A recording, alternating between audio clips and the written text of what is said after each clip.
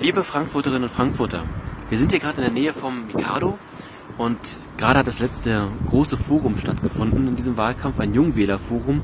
Also auch wirklich spannend, nochmal die Meinung und Eindrücke von jungen Menschen aus der Schulzeit hier mitgegeben zu bekommen, die einen ganz anderen Blick zum Teil haben auf unsere Stadt.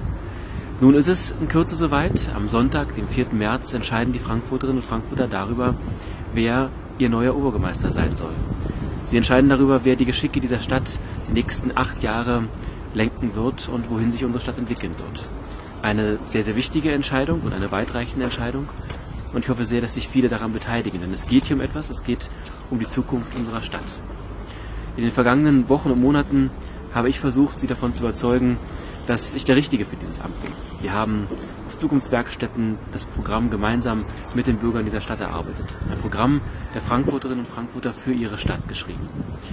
In vielen Wohnzimmergesprächen, zu denen ich eingeladen wurde, über 40 waren es insgesamt, haben wir im Wohnzimmern tatsächlich bei Bürgerinnen und Bürgern mit Nachbarn, Freunden, Bekannten, Familie über diese Wahl gesprochen und darüber, was Frankfurt braucht, welche Probleme es gibt und welche Lösungsansätze es gibt. Ich hoffe, ich konnte Sie mit meinen Ideen, aber vor allen Dingen auch mit meinem politischen Ansatz überzeugen. Aber wichtig ist vor allen Dingen, dass Sie zur Wahl gehen. Am 4. März geht es um etwas.